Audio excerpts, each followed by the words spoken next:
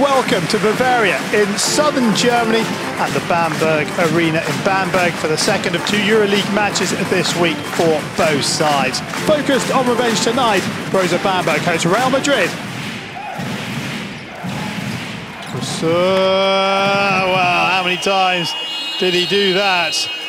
Hickman will drive and goes on the reverse for the two points. Causeur, who's already nailed a three from the other side, nails a three from this near side. Shot comes in from Staiger, who's got the three-point radar.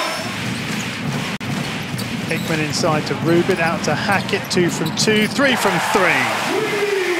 Doncic, Maciulis wants it. Maciulis has some space on the reverse layup. Nice hands. That is a lovely pick. Lovely alley finished off on the up by Tavares. Oh, good work. That really is good work. Oh, turnover of possession. Causeur, lovely finish. Here comes a three-point effort and some rare cheer. Nice work. Nice feed. And foul from right.